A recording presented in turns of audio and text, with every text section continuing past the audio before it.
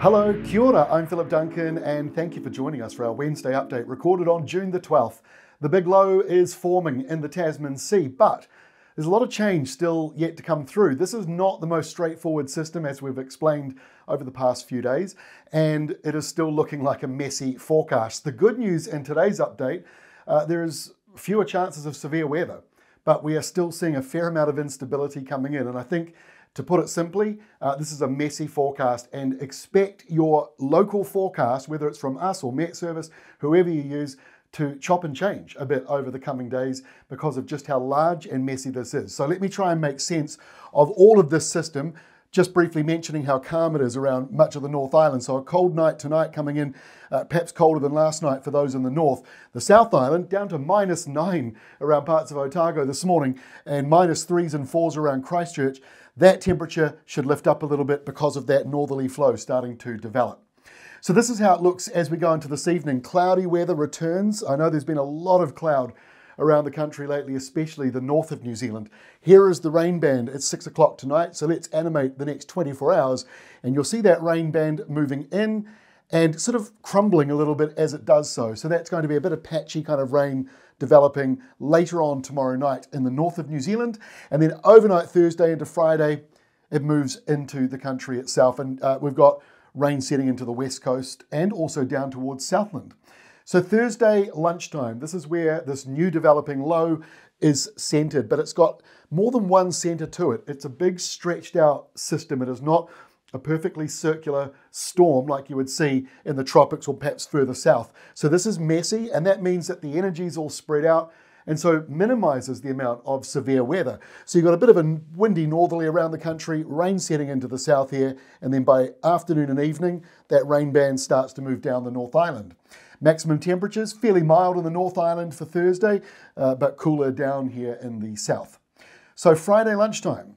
Now, this modelling has moved around a, a lot over the last few days. What we're seeing now is low pressure basically stretched right out from the north to the south of the country. So that does a couple of things. Number one, it, it, gets rid of the wind. It's not very windy if you're inside that area of low pressure. Number two, it brings in instability. So that means it might be sunny one moment and all of a sudden the clouds come in and it's raining out of kind of nowhere. That can happen and it can go the other way. You might have a rain forecast and the rain symbol and you wake up and it's kind of sunny or it's not looking too wet. That is what we're likely to see around the place, but we still expect this to dump a fair bit of rain 20 to sort of 40, 50 millimetres around the country. And good news, some comes into the dry part of the upper South Island, but not so much for those of you in the east. So rainfall for the next couple of days, from tonight through till Friday night, shows, you know, a lot of the shading you see here around the North Island is between 20 and 40 millimetres, but some other areas here and there may go above that, closer to 100, and we're seeing similar totals around the upper part of the South Island between sort of 40 and 100 millimetres coming through. That could still change, but that's the current thinking. And the eastern areas, not seeing very much rain, although hopefully a little bit coming in here to the dry parts of North Canterbury. Saturday lunchtime. The best way to explain this low pressure system is it's like a washing machine where you've thrown too much into it, too many towels and blankets and things, and it's all gone off kilter as it spins, it gets all lopsided. That's exactly what's happening here. And so rather than just being parked in one spot with the weather spinning around it, the center itself is kind of spinning around in its own vortex. And so you'll see this big line of wet weather just offshore. If the low moves a little further westwards or northwestwards, it will drag that wet weather back in to the eastern part of the lower South Island. At the same time, if this moves further north or eastwards, rain bands here come in to northern New Zealand earlier. At this stage, it looks dry to begin with, and then a few showers do start to move on through.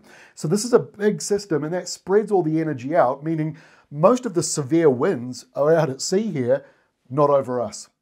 On Sunday, current thinking, I mean, this could change tomorrow, so just be aware of that. This is where it's supposed to be. The low is actually drifting sort of more towards Australia in this setup.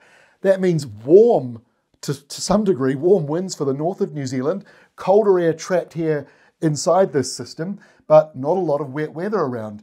But there could be some instability. That means, you know, a downpour or a thunderstorm even. Probably not too much in the way of thunderstorms around on Sunday, but they might be more here out at sea around this low.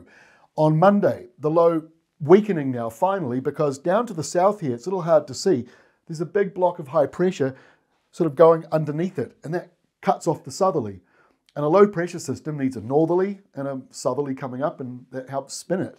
So this is messy. I keep saying that word, but it is. And there's another area of low pressure starting to form out to the east here. So it is confusing for the next few days ahead. We will keep you updated. Our next update is tomorrow, Thursday, and we'll take more uh, you know, closer look at the rainfall figures coming through for the weekend. Maybe comparing some computer modelling if there is any disagreement still. The best way to make sense of all of the confusion download our app or go to our rural weather website and you can see those weather trends. So it makes sense of when the wind might peak, when you might get frosty weather, when it could be pouring with rain. It just all makes sense in, in clear graph form for you and also shows you the peak wind gusts and uh, rainfall totals. So download our new app. You can do it right here. Thanks for joining us. We'll see you again tomorrow with our next update.